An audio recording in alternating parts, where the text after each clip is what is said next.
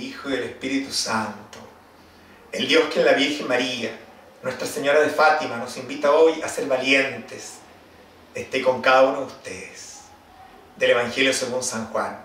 A la hora de pasar de este mundo al Padre, Jesús dijo a sus discípulos, si el mundo los odia, sepa que antes me han odiado a mí.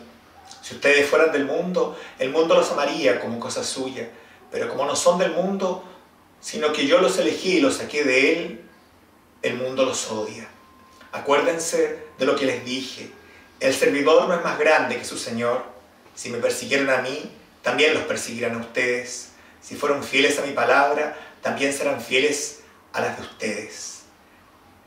Pero los tratarán así a causa de mi nombre, porque no conocen al que me envió.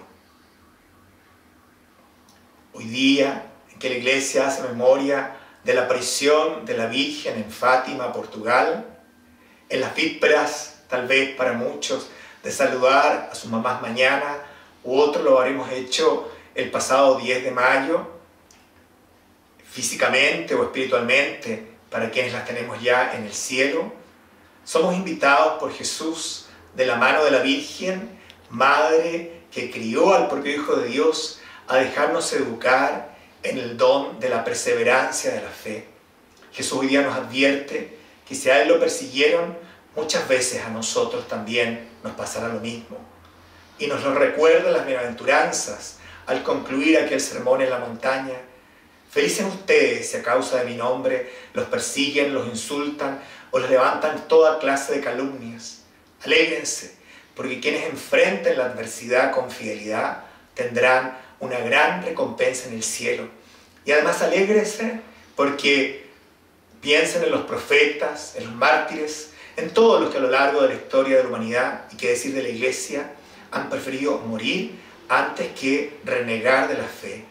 Poder permanecer en el seguimiento de Jesús es un don que le pedimos a Dios por medio de la Virgen en este día sábado.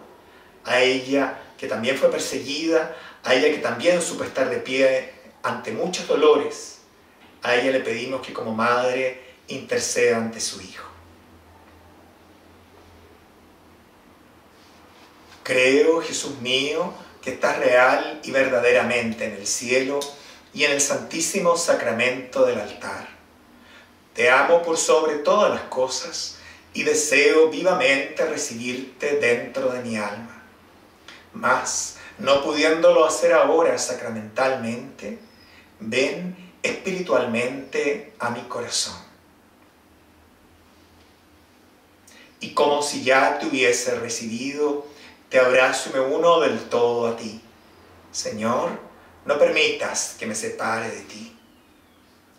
Que por intercesión de la Virgen María, Nuestra Señora de Fátima, les bendiga a todos el Dios que es Padre, Hijo y Espíritu Santo.